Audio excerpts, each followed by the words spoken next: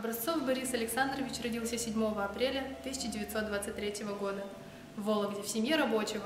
Окончил 9 классов. В 1941 году был призван в Красную армию. В первые же дни Великой Отечественной войны Борис Образцов по личной просьбе получил путевку в военно-авиационную школу пилотов. В 1944 году окончил Борисоглебскую военную авиационную школу пилотов. С июля 1944 года летчик 853-го авиационного полка по перегону самолетов осуществлял перегон истребителей с авиазаводов на фронтовые аэродромы. Участник войны в Корее с марта 1951 года в должности летчика 1-й эскадрильи 176-го гвардейского истребительного авиационного полка старший лейтенант Образцов совершил 56 боевых вылетов.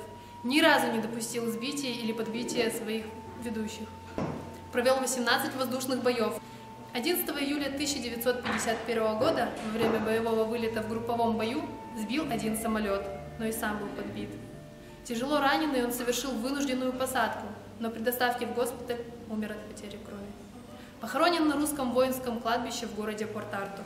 Указом Президиума Верховного Совета СССР от 10 октября 1951 года за мужество и отвагу, проявленные при выполнении воинского интернационального долга, старшему лейтенанту гвардии Образцову Борису Александровичу посмертно присвоено звание Героя Советского Союза.